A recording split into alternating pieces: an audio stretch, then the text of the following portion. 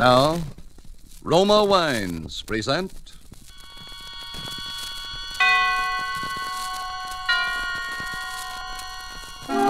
Suspense.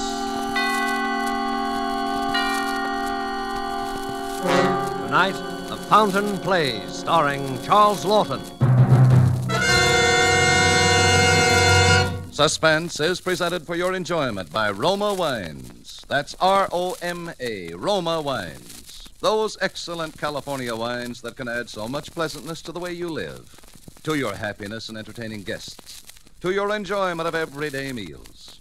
Yes, right now a glassful would be very pleasant as Roma Wines bring you Suspense. This is the man in black, here for the Roma Wine Company of Fresno, California, who tonight from Hollywood bring an old friend at these proceedings, Mr. Charles Laughton, as star of an unusual murder study by his distinguished compatriot, Miss Dorothy L. Sayers, called The Fountain Plays.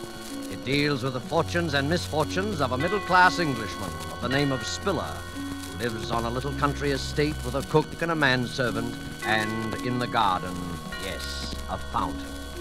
And so, with the performance of Charles Laughton as Mr. Archibald Spiller, we again hope to keep you in suspense.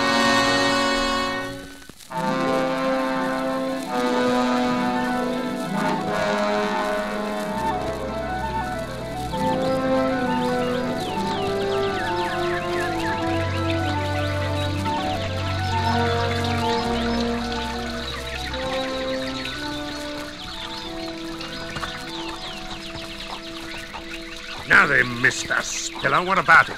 Oh, All right, hey, look out there, Sam. Mm, look out for what? Still as blind as a bat, aren't you, Sam?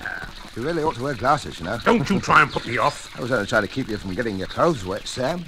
You almost walked right into the spray of the fountain. Well, never you mind what I need glasses, and never mind your blasted fountain neither. I want a straight answer to my question, Mr. Spiller. I've given you an answer. I've told you. You've given me nothing but bluff and bluster. Do I get it all, don't I? That's what I want to know. And if I My dear don't... fella, please. My guests Ow. are arriving. I'll talk to you tonight.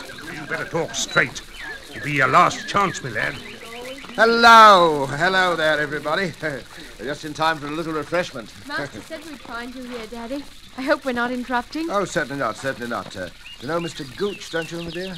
Yes, of course. And this is my neighbour, Mrs. Digby, Mr. Gooch. How do you do, Mr. Goose? And uh, Ronald Proudfoot, my daughter's fiancé. How do you do, sir? How do. You? Well, I was uh, just showing Mr. Gooch the wonders of my little fountain. Oh, Daddy, you do make such a fuss over this fountain. Even so, I always say there's nothing like a bit of ornamental water to set a place off. Sort of like the Versailles garden, what? Oh, it's really lovely, Mr. Spiller, and so secluded, with the rhododendrons and the lilac hedge all around. You like it, eh?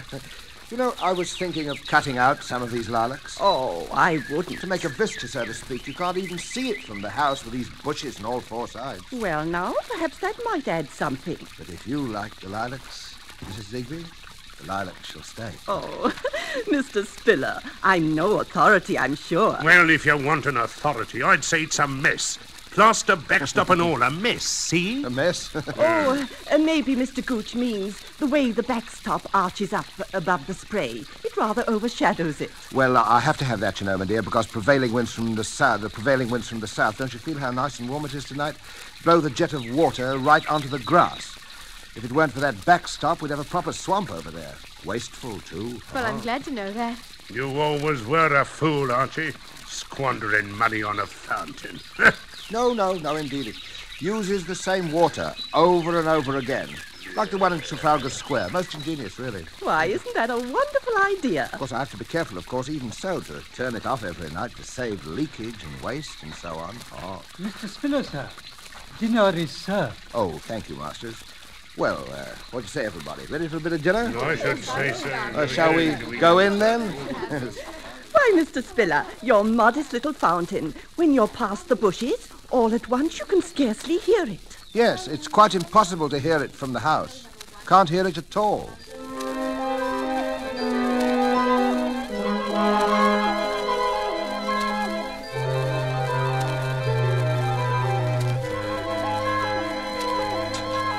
And what I says is, you see, you're not Will that be Napoleon all either. then, sir? Uh, yes, thank you, Masters. Uh, an excellent dinner. My compliments to the cook.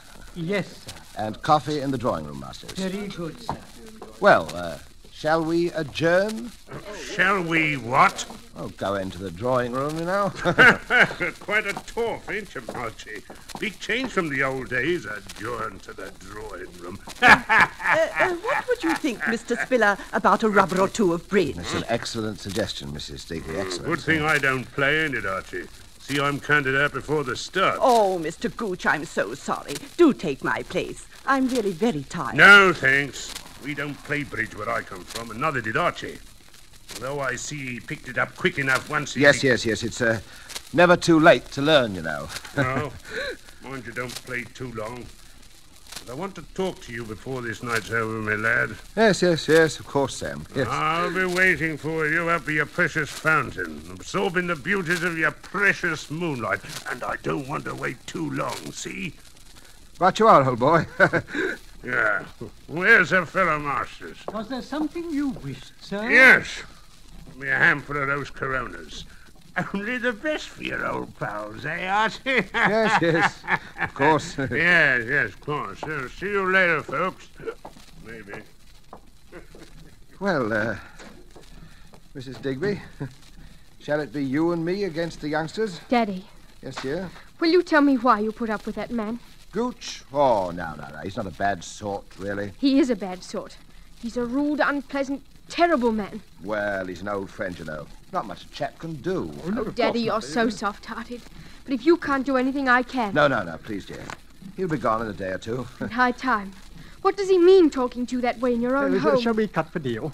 Uh, yes. Shall I? Well, I don't care. You shan't put me off. This is the last time that man's going to come into this house.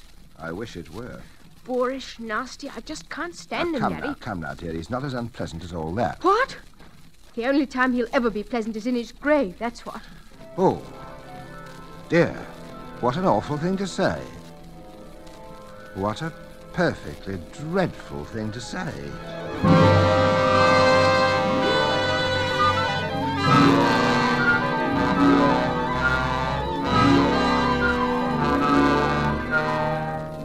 Tonight, for suspense, Roma Wines are bringing you as star Mr. Charles Laughton, whom you have heard in the first act of The Fountain Plays. Tonight's tale of suspense.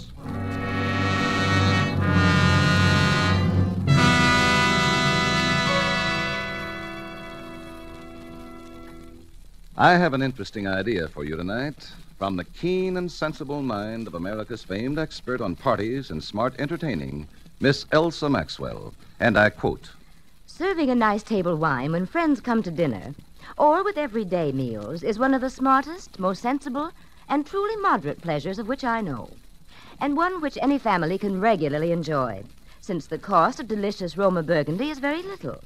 Just serve your Roma Burgundy well cooled. Enjoy it with any food, and don't worry about special glasses. Any glasses available are perfectly correct. The goodness of the wine, the added enjoyment of your food, these are the things that count. Miss Maxwell expresses perfectly what we of Roma believe. In Roma, California Burgundy, in all Roma wines, you enjoy the glorious color, aroma, and flavor of superb sun-ripe grapes. Our noted wineries, located in California's choicest vineyard areas, assure you of flavor and quality which are always good, never varying, always delightful. And so Roma quality is preferred everywhere. And you are able to enjoy these fine Roma wines at modest prices, only pennies a glassful. Remember, more Americans enjoy Roma than any other wines. R O M A, Roma wines. And now it is with pleasure that we bring back to our sound stage Charles Laughton as Mr. Archibald Spiller in The Fountain Plays, a tale well calculated to keep you in suspense.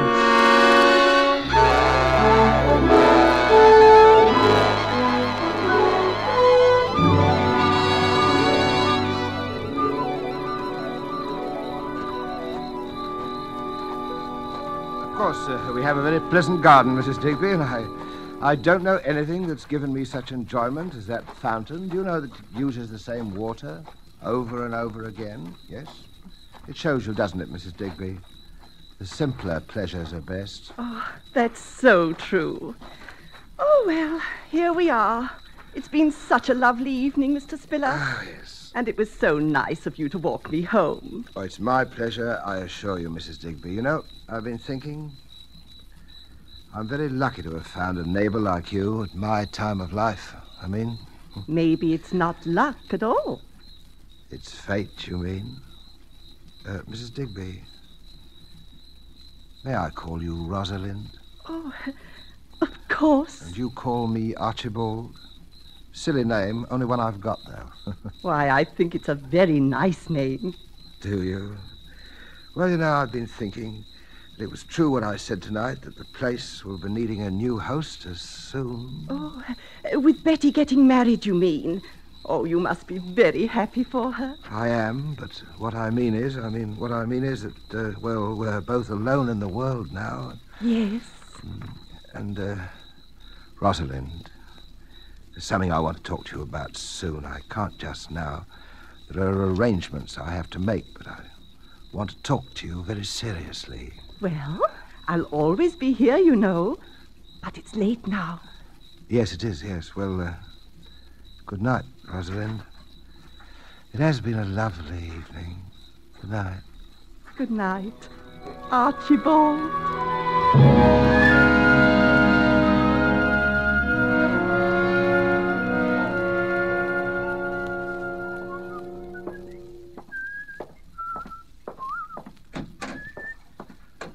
Ah, Masters. Where is everybody? Mr. Ronald left five or ten minutes ago, sir. And Miss Elizabeth has retired. Ah, well. Is Mr. Gooch still in the garden? I couldn't say, sir.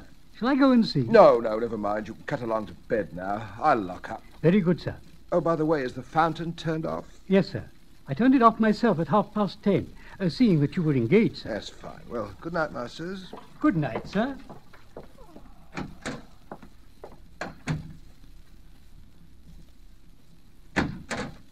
Oh, confound it. Oh, hello there. I was just coming out to look for you. Hello. Have a nice evening. Nice evening. Not as nice an evening as you had with your obliging little widow, That's eh? enough of that now, Sam. Oh, it is, is it? That's enough, is it? That's a good one. Would you think I am, talking to me like that? One of your ruddy servants? Well, I'm not. I'm the boss here. Get that in your head. I'm the boss, and you know it. All right, all right, all right, Sam, but let's buzz off to bed now. We'll talk it all over in the morning. Hmm? No. We're talking about it right now, Mr. Spiller. I'm short of cash. It's high time you kicked in with some more. Look here, Sam. I pay you your allowance as we agreed, and you stay here whenever you like, but that is all. Oh, it is, is it? Getting pretty high and mighty, aren't you? Number 41632? Sam, quiet, for heaven's sake. you're in a fine spot to tell me what you're going to do, aren't you? Quiet. Quiet. The servants, my dear. Quiet. Betty, my dear. Oh, Mr. Ronald Flapdoodle, whatever his name is. Really, Sam, you're quite impossible this evening. Impossible, eh? Impossible. But I'm not an escaped jailbird, am I? I'm not liable to be hauled back to work out ten years hard labor for forgery, am I? Quiet. Look here, Sam. I'll give you a little extra. This once. And when I think a man like me was only in for a short stretch anyway and worked it out all good and proper, depended on the charity, charity, mind you, of a pill was rolling in wealth. I am not rolling in wealth, and you know it. But if you'll promise me faithfully that this is the last time. Oh, sure, I'll promise. For an old pill, I'll promise anything. And just give me 5,000 down. Five thousand? That's right. Got a great opportunity. All I need is a little ready cash. Now, don't you be an idiot, Sam. Where do you think I'm going to lay my hands on that much, just like that? Now, look, I'll give you a check for 500. Ah, trying to renege on an old pal, eh? I said 5,000 and 5,000 it is, or you'll find yourself back on the rock pile. I See? tell you, I haven't got it. haven't got it.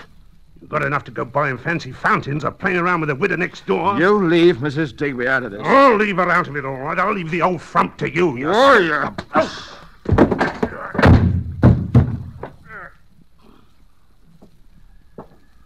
Sorry I had to do that. I told you that was enough of that, and I meant it. Now pull yourself together and go to bed. I'll talk to you in the morning. Do you hear me? Sam? Sam? Ah, come on. I didn't hit you that hard. Get up on your feet now. Sam? Sam. Oh, oh, I've killed him. What was that? Oh, it's just the old clock. Hey? Eleven o'clock. Seven hours. Eight hours, perhaps, until they find him. Of course, he hit his head when he fell, but the police won't care about that, and they'll take fingerprints, and they'll find out I was number 41632. No. What you need is an alibi. And if I could, could confuse him. An alibi. An alibi, that's it. Make it seem he was alive when he was already dead. First, you have to fix the time, haven't you? The time, the time, the time, the time. Well, you've got to make it earlier. Say 10.30 while everybody was playing bridge. If he could have died sometime before that, but how do I prove it? What happened at 10.30? What happened at 10.30? What happened at 10.30? Oh, yes. the fountain. Masters and the fountain. That's right, the fountain, yeah. The fountain. Now I know what to do. Go out into the garden, turn on the fountain, then go down the garden path and call him, call him by his name. Sam! Sam! Gooch! Gooch! I think that'll do for that. I'll go back to the house. Say I looked for him and I didn't find him, that it was dark, the moon had gone down. Yes, but now. How do I move him? How do I. That's right, the wheelchair. The wheelchair. It used to be Mrs. Spiller's. I remember how she. It's not time to think of her now. Better try and lift him into it. Would ever have thought that old Sam was as heavy as this? Now, out of the other door, but quietly this time. Wish the wheelchair wouldn't make so much noise. Down the back path. A careful boy, hold on to yourself. I feel like running. Feel as though every window in the house were filled with faces watching. Well, here we are. I've got to lift him up again. Yeah. Lay him down on the edge of the fountain. Put one hand in the water. Put the bruise on his head, right up against the stone corner of the basin, a bit to the right. That's better. He was half blind anyway, and he fell. And now it's done. Mm. What's that? He's alive. Gooch is alive. After all that trouble, after committing practically the perfect crime, and he's alive. It's all right. It's all right. Sam. Uh. Sam. Uh. Wait a minute. Bring him to life again. More blackmail for the rest of your life. What about Mrs. Digby? Nice, plump, comfortable Mrs. Digby.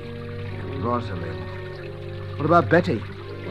She at least deserves something. Uh, no, it's better than murder. All right, murder it's going to be. He's dead already as far as the rest of the world is concerned. Now, come here. Now or never. His face is right by the uh, water's edge. Push him under. Now. Well,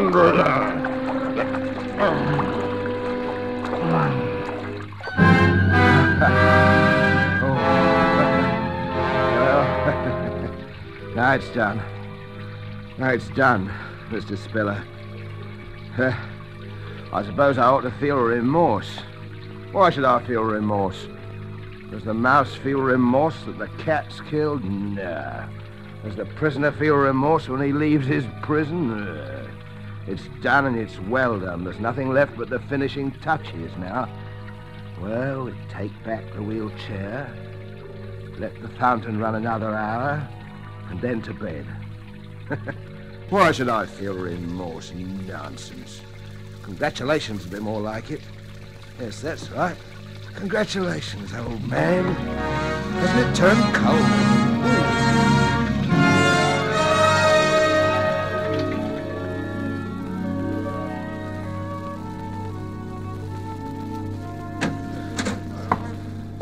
Inspector Frampton, sir. Oh, yes, sir. Come in, Inspector. Come in. I hate to trouble you, Mr. Spiller, but uh, regulations, you know. Oh, of course, yes. Everyone here who was present the night of, uh, well, that is, uh, last night. Yes, Inspector, there's Mrs. Digby. She's my neighbour, my daughter Elizabeth, and her fiancé, Mr. Ronald Proud- Proudfoot, and the servants, of course. Excellent. Well, now, if you'll all bear with me, I have to ask you a few questions, you know. Now, there was a blow on the head. Oh? As I understand it, the deceased was last seen alive at about 8.30, just after dinner. Let me see, uh, you were the last to see him, eh, my man? Yes, sir. I believe so, sir. You showed him the way to the fountain in the garden, eh? At his request, yes, sir. I believe the uh, deceased gentleman's eyesight was rather bad. Yes, terribly bad, Yeah. terribly bad. And that was the last time he was seen alive by any of you, eh? Yes, that's right, Inspector. The four of you then played cards, I believe. Until what time? Until about 10.30. And no one left the room during those two hours? Then, No, uh, Mr. no. Spiller, you accompanied Mrs. Digby to her own. That's correct, Mrs. Yes. Digby? Uh, yes, Inspector? Now, when you returned, you were met in the hall by Masters. Uh, what time was that, Masters? Uh, about 10.45, sir. And Mr. Spiller at that time inquired after Mr. Gooch? Yes, sir. He asked if I'd seen him, and as I'd not, he suggested I might retire, and that he himself would lock up the house. Uh, the others had left, eh? Uh, yes, sir. Uh, that is to say, uh, Mr. Ronald had left. I heard him drive off in his car, and Miss Elizabeth had retired. Then you were alone in the downstairs part of the house. Uh, is that so, Mr. Spiller? Yes. Uh, will you tell me, please, what you did then? Well, I'd uh, promised the poor fellow I'd have a talk with him later in the evening, so I went to look for him. I went down to the end of the garden by the fountain. But you didn't go through the lilac hedge to the fountain. No, no, I didn't. It was dark by then. I couldn't see. I called Gooch several times. Uh, did anyone hear Mr. Spiller call? I did, sir. I was half asleep, uh, you might say, but I did hear Mr. Spiller call out. And then what did you do, Mr. Spiller? I came back into the house, Inspector, and I sat up in the library and read for a while, and about uh, one o'clock I went to bed. Now, now this is very important. Who turned off the fountain? I did, sir. At what time, Masters? At 10.30, sir. You're quite sure of that, eh? Yes, sir. It was the usual time. I see. And no one would have turned it on again, of course? Uh, I can't think why, sir. Ah, I see. Well, I think that makes everything very clear, Mr. Spiller. When the body was found, it was still wet from the spray of the fountain. Therefore, death must have occurred some time before the fountain was turned off at 10.30. Yes. And as all of you here were occupied up until then, from the time the deceased was last seen alive, Oh, of course, uh, it is an accident. I said it was from the beginning. well, it might have been neither, you know. There had been a blow and there was water in the lungs, but the man apparently fell, missed his footing due to his poor eyesight, and struck his head, falling into the water from which he was unable to rescue himself. Well, it does seem the obvious conclusion, doesn't it? My, my. Poor fellow, dear me. Well, thanks, everyone. I, I don't think he's left to trouble you again, Mr. Spiller. I hope not. Thank you, Inspector.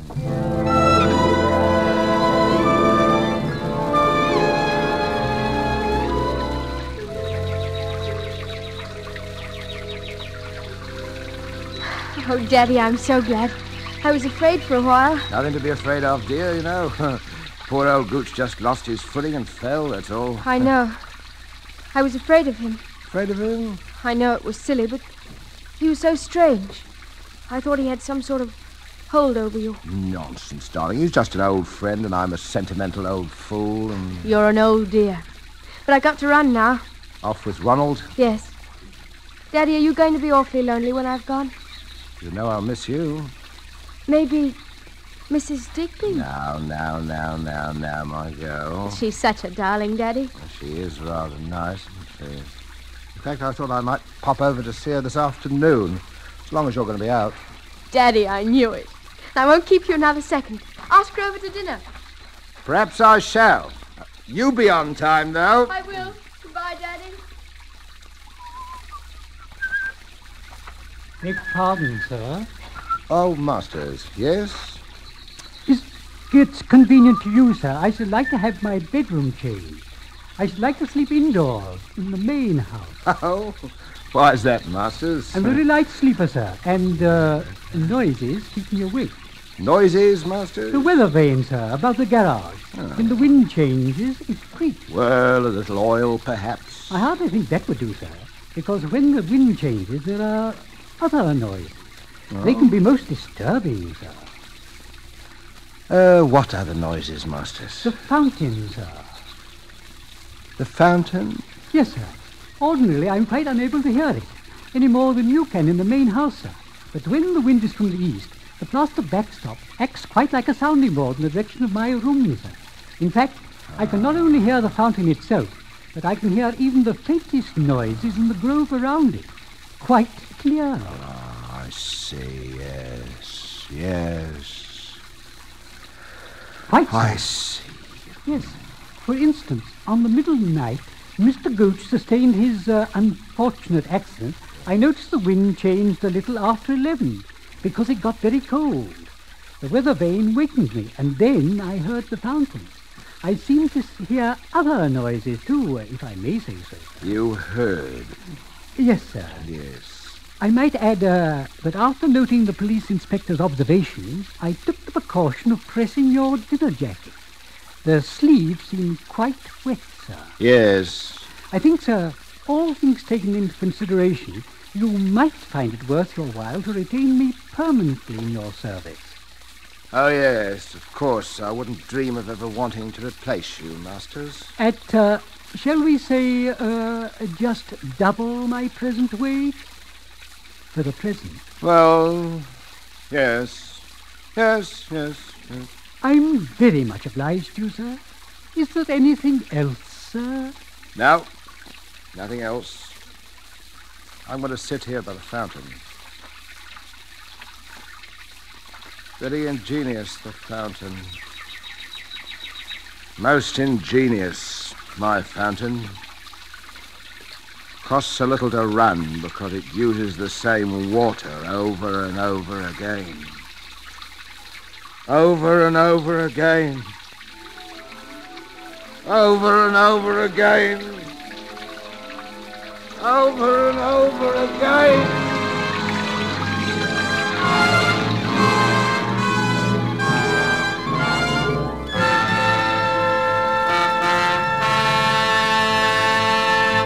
And so closes The Fountain Plays, starring Charles Laughton, tonight's study in suspense. Suspense is produced and directed by William Spier. The other day, Elsa Maxwell told us about a friend who had lived many years in wine loving countries around the world. I gave him some of our delicious Roma, California Burgundy at dinner, and he confessed to me that he thought it every bit as enjoyable as any he had ever had. So I say, you people who do not regularly serve Roma wine are missing one of the most delightful treats daily living can offer. It's so good, so smart, yet so very simple. Take Miss Maxwell's advice. Enjoy Roma wine regularly. It's always good, unvaryingly fine in flavor and quality, and only pennies a glass. Remember, more Americans enjoy Roma than any other wines.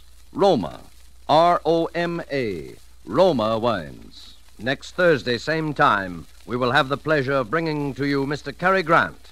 Make a note now for next Thursday so you won't miss Cary Grant's performance in Suspense.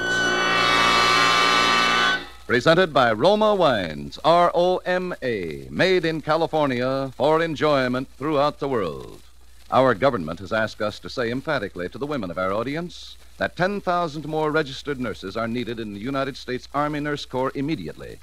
Registered nurses, those about to graduate and who qualify as senior members of the United States Cadet Nurse Corps up to 45 years of age, are vitally needed. Write to the Surgeon General, United States Army, Washington, D.C., or call at your nearest Red Cross chapter. This is CBS, the Columbia Broadcasting System.